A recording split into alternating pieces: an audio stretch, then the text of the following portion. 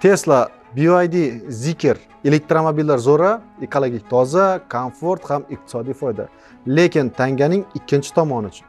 Elektromobillar inson salomatligiga qanday ta'sir qiladi?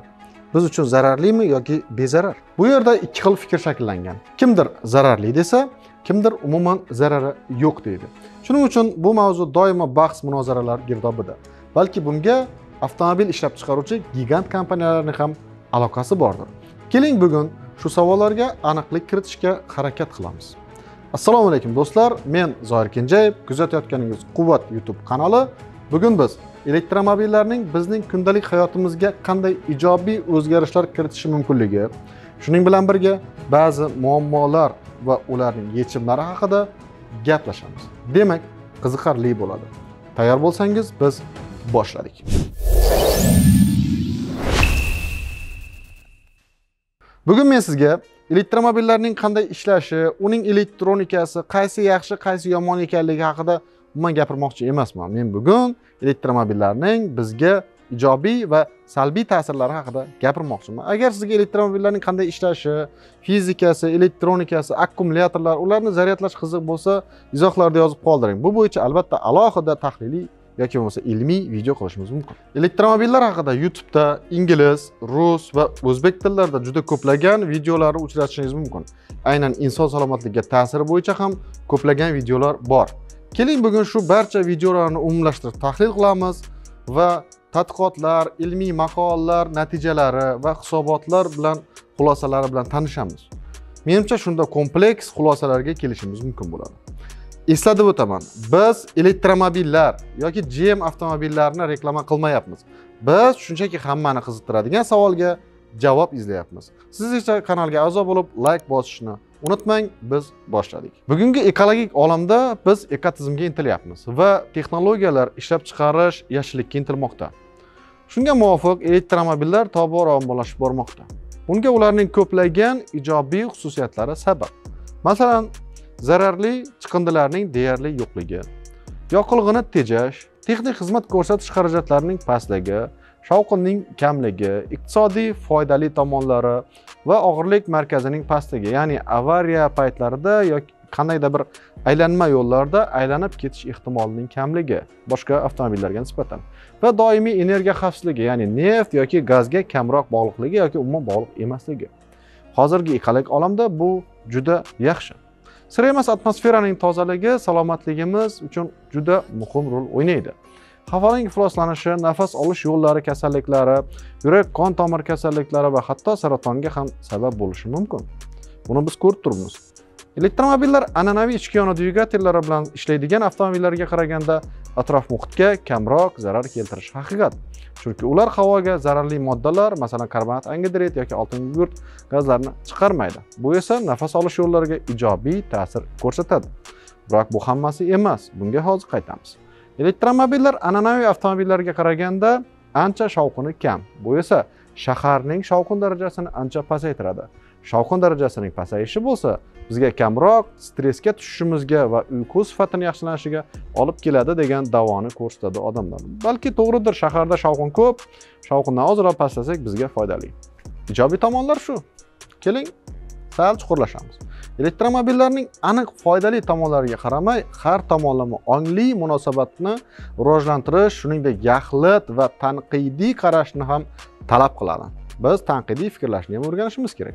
Elektr avtomobillarning kamchiliklari haqida oldinlari gap ketganda asosan zaryadlash stansiyalarining kamligi bitta zaryad bilan uzoq masofalarga yurib bo'lmasligi uzoq vaqt davomida zaryadlash kerakligi akkumulyatorlarning ko'p vaqt ishlamasligi yonib ketish xavfi va narxning qimmatligi haqida aytilar edi.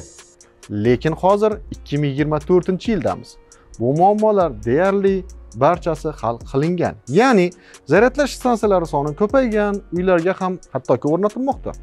To'g'ri shahardan chekka hududlarda hali ham muammolar bor balli ko'pay endi ko'payadi. Zaryadlash vaqtini ham o'zgartirish mumkin. Xohlasangiz tez zaryadga bir soat yoki yetti soat. Bunga texnologik yechimlar ham bor. Akkumulyatorlar masalasi ham ilm fan texnologiya rivojlanishi bilan yaxshilanib bormoqda. Asosan litiy ion va litiy temir fosfatli variantlari hozirda foydalanilmoqda. E, shu bilan birga tadqiqotlar va amaliy natijalar shuni ko'rsatmoqdaki elektr transport vositalarida ishlatiladigan bu turdagi akkumulyatorlarning ishlash muddati o'rtacha sakkiz yilni tashkil qiladi ushbu davrdan keyincha batareyani almashtirish kerak bo'ladi yoki avtomobilni butunlay o'zgartirish kerak. Muammo shundaki batareyani almashtirish juda ko'p pul talab qiladi. Ya'ni akkumulyatorlarda yaxshi avtomobillarda qirq ming dollargacha borishi mumkin. Bu esa xaridor uchun bunday avtomobillarni jozibadorligini sezilarli darajada kamaytiradi. Xuddi shunday ikkilamchi bozorda bunday mashinalarni sotib olish foydasizdir. Shu sababli egasi bir necha yillik foydalanishdan keyin elektr mashinasini sotishga qaror qilsa ham batareyani almashtirishning yuqori tannarxi tufayli qiyinchiliklarga duch keladi. Iqtisodiy zarar masalasi. Shuningdek akkumulyatorlar sig'imi oshishi bilan uzoq masofalarga borish masalasi ham hal qilingandek oddiy benzinda yuradigan avtomobillarga nisbatan hozirda kam masofalarga yurmayapti. Lekin elektromobillar bilan uzoq masofalarga masalan ming kilometrlik masofalarga borishni men tavsiya bermayman. Biroq bulardan tashqari bizni tashvishga soladigan ayrim potensial tashvishlar mavjud.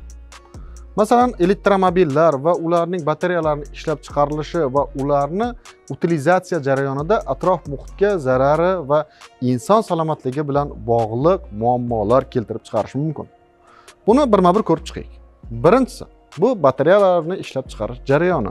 Litiy ion litiy temir fosfat batareyalar elektromobillarda asosiy energiya saqlovchi hisoblanadi. Biroq batareyalar ishlab chiqarish jarayonida zararli kimyoviy moddalar ishlatiladi va bu jarayon katta miqdorda suv va energiya talab qiladi. Bundan tashqari litium kobalt kabi metallar qazib olinishi atrof muhitga va mahalliy aholining hayot tarziga zarar yetkazishi mumkin. Siz internetga kirsangiz litium qazib olishdagi jarayonda odamlar qanchalik qiynalayotganligini ko'rishingiz mumkin. Sodda til bilan aytganda akkumulyator uchun kerakli materiallarni qazib olish va ishlab chiqarish jarayoni atrof muhit va inson uchun zararlidir. Bir necha yil oldin shvetsariyaning ricardo consulting kompaniyasi o'z tadqiqot natijasini e'lon qiladi. Unda an'anaviy yoqilg'iga asoslangan avtomobil ishlab chiqarishda elektromobil ishlab chiqarishga qaraganda atmosferaga zararli chiqindilar bir yarim baravar kam ekan. Bunda chiqindilarning taxminan yarmi akkumulyator ishlab chiqarish bosqichiga to'g'ri keladi. Bir so'z bilan aytganda tadqiqot natijalari ilmiy kuzatuvlar olimlarning sharhlari shuni ko'rsatadiki elektr mashinalari ham risoladagidek qo'shtirnoq ichida toza emas. Ikkinchi energiya manbai. Elektromobillar elektr energiyasi bilan ishlaydi. Agar bu elektr energiyasi ko'mir yoki tabiiy gaz kabi yoqilg'ilardan foydalanadigan bo'lsa u holatda tabiatga zararli moddalar issiqxona gazlarini chiqaradigan manbalar bizda hech qanday o'zgarish yuzaga kelmaydi. Ya'ni elektromobillarning umumiy atrof muhitga ta'siri kamaymaydi. Bizda hozirda xuddi shunday bo'lyapti. Biz elektromobillarni uyga kelib o'sha markaziy elektr tarmoqlari bilan zaryadlayapmiz. Biroq zaryadlashda agar biz quyosh yoki shamol kabi ekologik toza energiya manbalaridan foydalanadigan bo'lsak bu holatda haqiqatdan ham yashil avtomobil bo'ladi yashil iqtisodiyotga o'tamiz va biz yashillikka intilamiz. Lekin biz doimiy holatda o'zimiz energiyalardan foydalanadigan bo'lsak bu holatda elektromobilning ekologikligi qolmaydi. Uchinchi potensial xavf bu batareyalarni qayta ishlash va utilizatsiya jarayoni. Elektromobillarning batareyalari muddat tugagach ularni qayta ishlash zarur. Aks holda ular atrof muhitga zarar yetkazuvchi moddalarni chiqarishi mumkin. To'rtinchi biroq bitta munozara odatda umumiy munozaralardan chetda qolmaydi. Bu elektromagnit nurlanishning sog'lig'imizga potensial zararli ta'siri haqida. Ba'zi tadqiqotlar elektromobillarning yuqori kuchlanishli elektr tizimlari atrofida elektromagnit maydonlar hosil bo'lishi mumkinligini ko'rsatgan. Bu esa ba'zi insonlarni tashvishga soladi.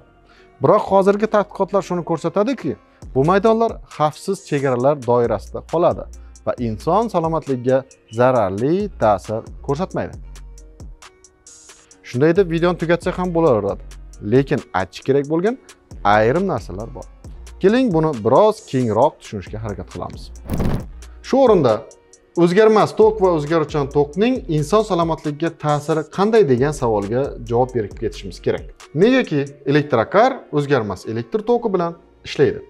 O'zgaruvchan tokning aynan inson tanasiga to'g'ridan to'g'ri ta'siri mavjud.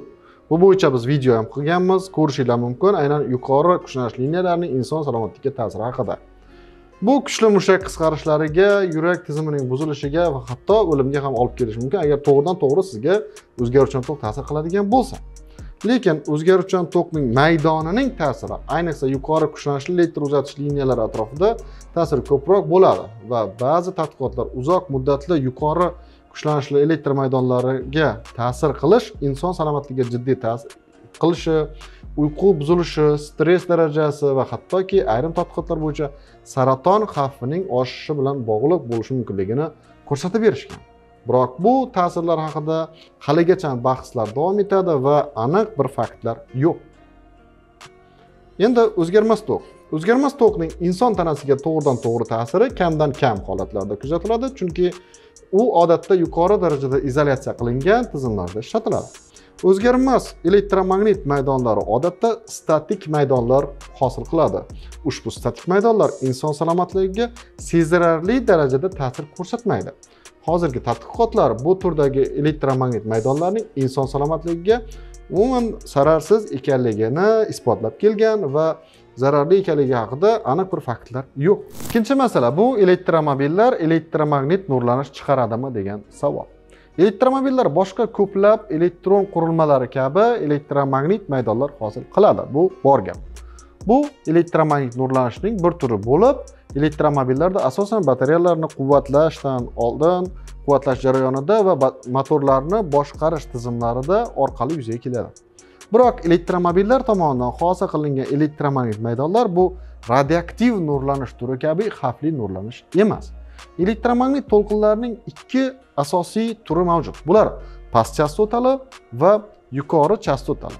Elektromobillar asosan past chastotali elektromagnit maydonlar hosil qiladi va bu turdagi elektromagnit maydonlar kundalik hayotimizda keng tarqalgan. Masalan uy ro'zg'or elektron qurilmalari mobil telefonlar va elektr uzatish liniyalari ham past chastotali elektromagnit to'lqinlarni chiqaradi. Jahon sog'liqni saqlash tashkilotining saraton tadqiqotlari agentligi ekspertlari elektromagnit maydonning uzoq muddatli surunkali ta'sir qilish sharoitida oqim zichligi nol uch nol to'rt mikrotesla bo'lgan magnit komponenti kanserogen ekologik omil bo'lishi mumkinligini tan olishadi. Ya'ni chegara nol uch nol to'rt deb aytadi. Shvetsiyalik olimlar inson uchun magnit oqimi zichligining chegaraviy qiymatini nol bir mikrotesla deb belgiladilar. Undan yuqori esa demak inson uchun xavfli deb bilishadi va finlandiyalik olimlar ham bu xulosani qo'llab quvvatlashadi va ko'plagan mamlakatlarda tan olingan skandinaviya standartlari bo'yicha bu chegara nol ikki mikrotesla deb qabul qilingan. Agar mdh davlatlari standartlariga qaraydigan bo'lsak bu chegara bizda besh o'n mikrotesla atrofida. Tushundingiz ya'ni biz uncha muncha ta'sirlarni tan olmaymiz. Medium sayti elektr avtomobillari sog'lig'imizga zarar yetkazadimi degan mavzuda katta maqola chop etgan. Unda mutaxassislar asosan bizning sog'lig'imizga elektromobillarning uzoq muddatlar davomida salbiy ta'sir ko'rsatishi mumkinligi haqida gapirishadi bu yerda asosan yurak stimulyatori va defibrilyatori olib yuradigan odamlarga potensial ta'sirni ta'kidlab o'tishadi. Ya'ni sizda agar shunday bo'ladigan bo'lsa o'z ehtiyotingizni ko'rganingiz ma'qul. Bu yerda o'sha ikkita elektromagnit maydon ta'sirlari insonga jiddiy zarar ko'rsatishi mumkin. Ba'zi tadqiqotlar qisqa muddatda inson to'qimalariga hech qanday zarar yetmasligini da'vo qilishadi. Ya'ni siz elektromobillar bilan qisqa muddat aloqada bo'ladigan bo'lsangiz bu sizga hech qanday ta'siri yo'q. Boshqa bir tadqiqot. Haydash paytida elektr va magnit maydonlarini o'lchab ular kerakli darajalarga to'g'ri keladigan degan xulosaga berishadi. Va ba'zi tadqiqotlar faqat avtomobilni ishga tushirish paytida oyoq atrofida yuqori ta'sir darajasi borligini ko'rsatishadi va bu aynan o'sha bosh balandligi darajasida ta'sir qiladigan darajada ahamiyatsiz ekanligini bildirishadi. Ya'ni sizga oyog'ingiz atrofida qandaydir bir ta'sirlar bo'lishi mumkin ishga tushirish haydash davomida lekin bu sizni miyangizga hech qanday ta'sir ko'rsatmaydi degan xulosa berishgan. Demak tashvishga asos yo'q. Shu bilan birga ayrim tadqiqotchilar magnit nurlanish neyrodegenerativ kasalliklar va kamroq darajada saraton yurak qon tomir kasalliklari va reproduktiv natijalarning bir nechta shakllari bilan bog'liq bo'lishi mumkinligini ko'rsatmoqda. Hatto xalqaro saraton tadqiqotlari agentligi jahon sog'liqni saqlash tashkiloti magnit maydonlarni kanserogen bo'lishi mumkinligini tan oladi. Bu maydon ta'sirini tekshirish bo'yicha bir qator eksperimentlar amalga oshirilgan va youtubega joylangan. Bularni siz ham ko'rishingiz mumkin. Men o'shalarni ayrimlari haqida sizga ma'lumot qilib berib ketaman. Masalan hits of Teach kanali muallifi tesla elektrokarida magnit maydon darajasini tekshiradi. Natija shunday bo'ladi. Uning oshxonasida turgan ovqat isitish uchun foydalaniladigan mikroto'lqinli pechdan tarqalayotgan maydon tesla avtomobilni haydagan paytda chiqadigan maydon bilan bir xil ko'rsatkichga ega bo'ladi. O'zi agar bilsangiz kerak mikroto'lqinli pech ishlatilayotgan paytda undan 3 metr masofada narida turish kerak. Sababi insonga ta'siri bor deb bilinadi va o'sha tesla elektrokardagi maydon ham xuddi shunga yaqinlashtiriladi. Shuningdek dream or drive kanali odamga potensial ta'sirlar bo'yicha ham bir qator etaplarni sanab o'tgan va faktlar keltirgan. Shuningdek strannik mira kanali blogeri elektromobillar akkumulyatorlarining o'zidan o'zi portlab ketishi yonib ketishiga e'tibor qaratadi. Eng asosiy ishni center sayti ham bir nechta turdagi elektromobillardan chiqadigan nurlanishlarni solishtirib ko'radi. Ta'kidlanishicha 2020 yilda yevropa ittifoqining qo'shma tadqiqot markazi 7 xil avtomobil modelida ularning har birining interyeridagi 17 ta nuqtada o'tkazilgan sinov natijalarini taqdim etadi. Tadqiqot natijalarida xavotirga sabab topilmaydi.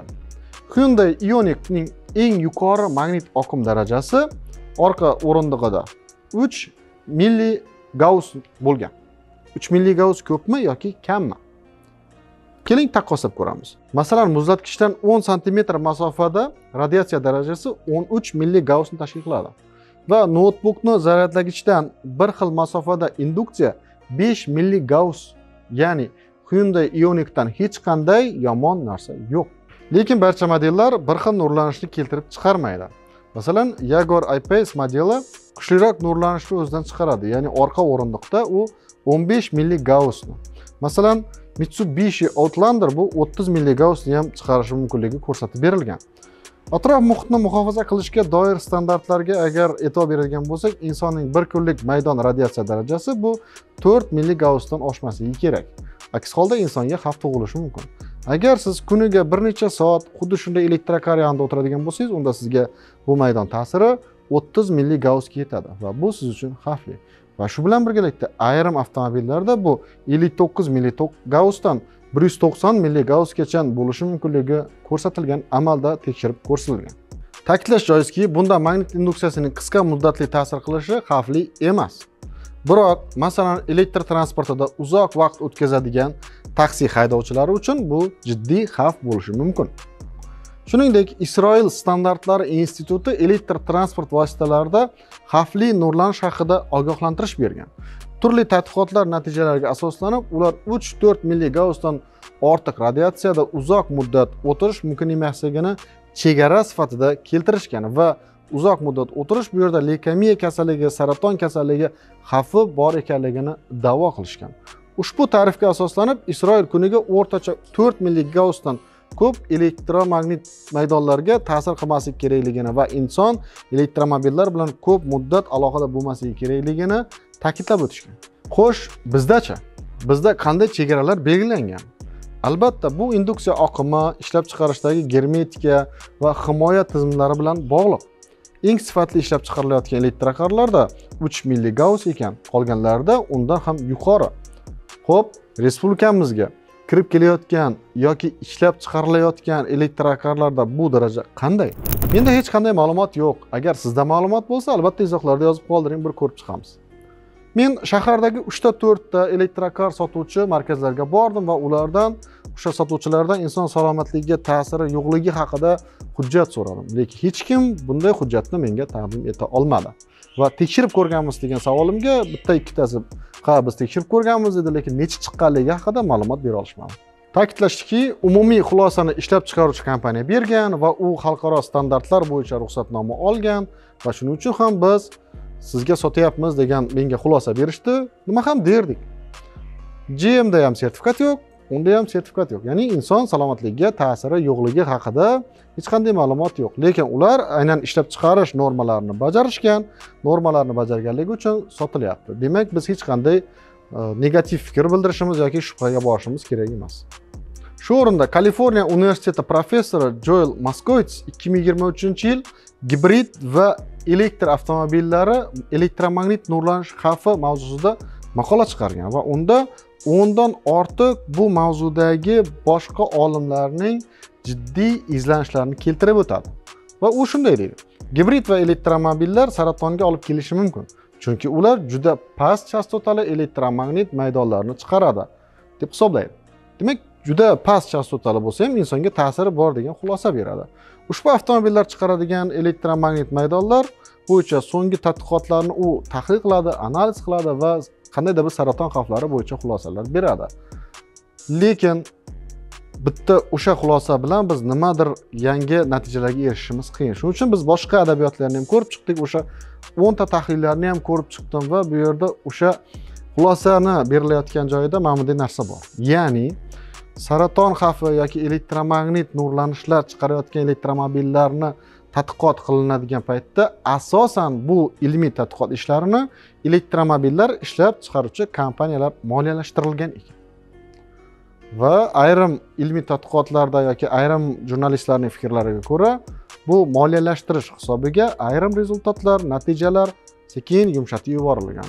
Lekin men buni bilmayman bu xulosalarni men aytyapman. Bunga qarshi fikr natijasida pensilvaniya universiteti professori kennet foster elektr va gibrid avtomobillarning magnit maydonlarini sog'liq uchun umuman ta'siri yo'q degan xulosa bergan. Nima bo'lganda ham elektromobillarning elektromagnit maydonlar darajasi sog'liq uchun xavfsiz chegaralarda ekanligini ta'kidlab o'tishimiz kerak. Jahon sog'liqni saqlash tashkiloti va boshqa sog'liqni saqlash tashkilotlari elektromagnit maydonlarning inson sog'lig'iga ta'siri haqida qo'llanmalar standartlar ishlab chiqarishgan.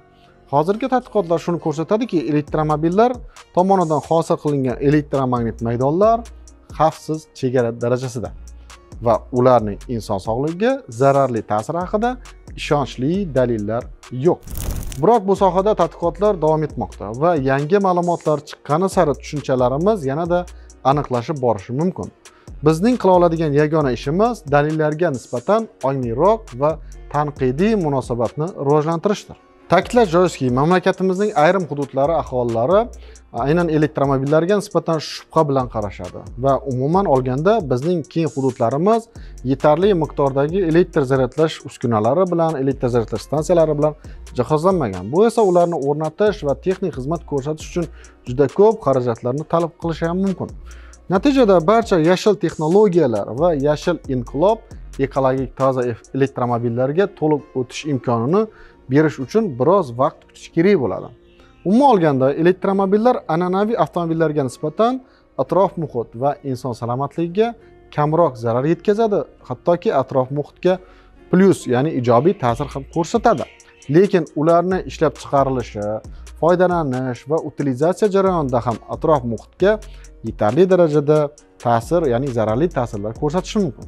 Yaxshiyamki texnologiya doim rivojlanib bormoqda. Yangi texnologiyalar yaxshi va yaxshilanib borayotgan batareyalarni qayta ishlash usullari yordamida biz elektromobillarning atrof muhitga va salomatligimizga ta'sirini kamaytirib bormoqdamiz.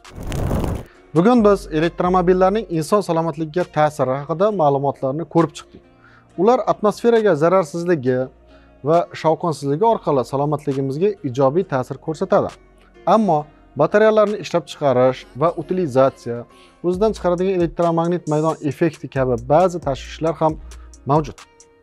Sizningcha elektromobillar kelajagi qanday bo'lishi kerak va biz ularning salbiy ta'sirlarini qanday yo'qotishimiz mumkin? Umuman siz bu fikrga qanday qaraysiz? Elektromobillar bizga zararlimi? Videoni ko'rganingiz uchun rahmat. Agar bu mavzu sizga qiziq bo'lgan bo'lsa layk bosishni va kanalga a'zo bo'lishni unutmang. Men esa elektromobilda sayr qilishga